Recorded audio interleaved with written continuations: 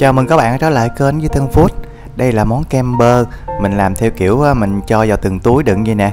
Giống như à, sinh tố bịch vậy các bạn. Đặc biệt, công thức làm kem này rất là dạ thơm, béo, dẻo, mịn luôn.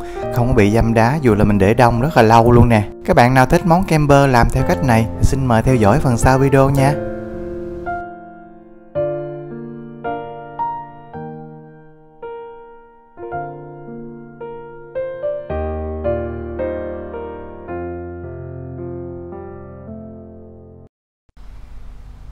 Và phần bơ mình chuẩn bị sẵn nè. Mình đã à, tách vỏ bỏ hạt luôn rồi. Tính phần thịt bơ không là một ký nha các bạn. Mình để phần bơ này qua một bên, Mình đi nấu nước cốt dừa trước nha. Cho vào nồi 400ml nước cốt dừa. Nước cốt dừa mình sử dụng à, cái dạng nước dừa đóng hộp Và mình sử dụng dạng kem á các bạn. Thêm vào đây 100g đường nha. Khoảng 1 phần 3 muỗng cà phê muối nè. Mình khuấy đều lên và mình nấu với lửa trung bình.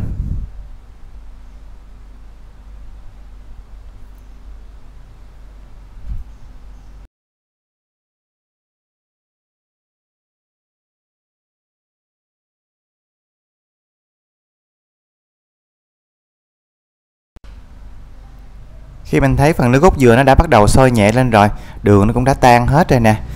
Mình sẽ cho ở đây 300g sữa đặc nha.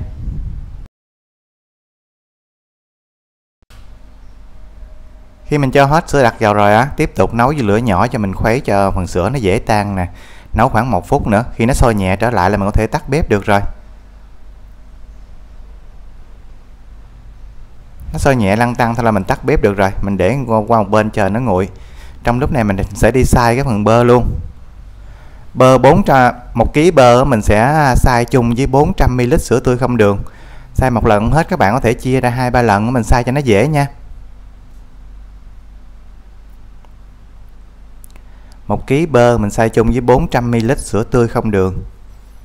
Mình chia phần bơ ra nhiều là hai, ba lần gì đó, sữa mình cũng chia ra, cho nó dễ xay và mình xay thật nhuyễn luôn nha các bạn.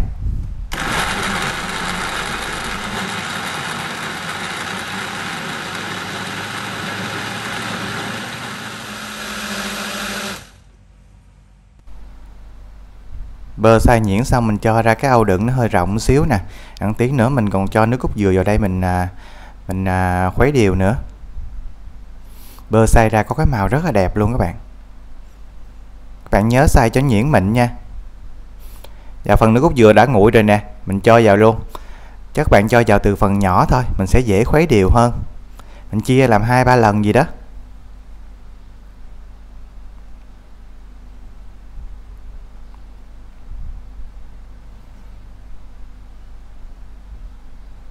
Nè, mình tiếp tục cho nước cốt dừa vào.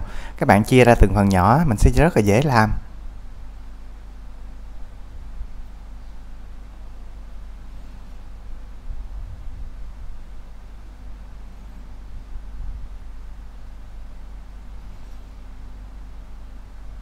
Cuối cùng mình cho hết luôn vào luôn nè.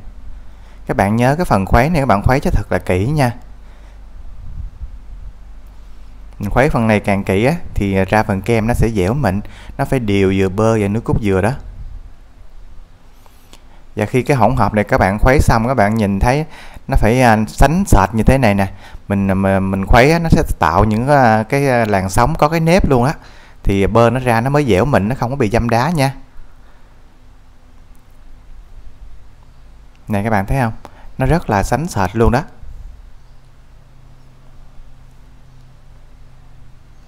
Khi chuẩn bị xong phần này rồi mình cũng đi cho, cho vào túi luôn nè. Phần kem khuấy xong các bạn có thể cho vào cái ca có cái à, miệng rót á để mình dễ rót vào trong túi đựng nha. Túi đựng thì mình xài vô chung cái túi à, làm à, sinh tố hoặc là làm à, da ua đó các bạn. Thun thì mình chọn cái loại nhỏ vậy nè buộc sẽ nhanh hơn. Các bạn có thể bẻ cái miệng à, bịch xuống á để cho mình dễ rót vào hơn nè.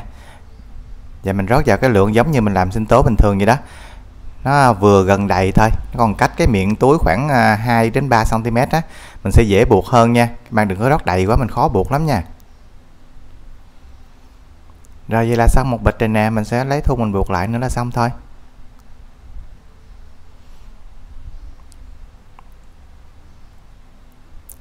Nếu mà các bạn thấy cái cách rót này hơi khó á, thì mình có một cách nữa là các bạn dùng cái chai à, cái chai nước suối các bạn cắt ở trên phần miệng một một khoảng là mình là làm giống như cái quặng vậy đó.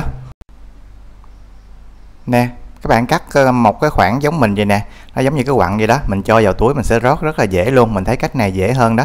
Nếu các bạn cho nước sơ có chai nước suối thì mình làm theo cách này nha.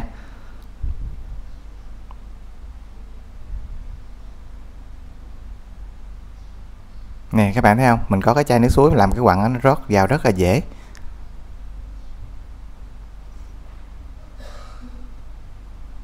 Vậy là xong rồi nè. Lấy thun buộc lại nữa là xong thôi.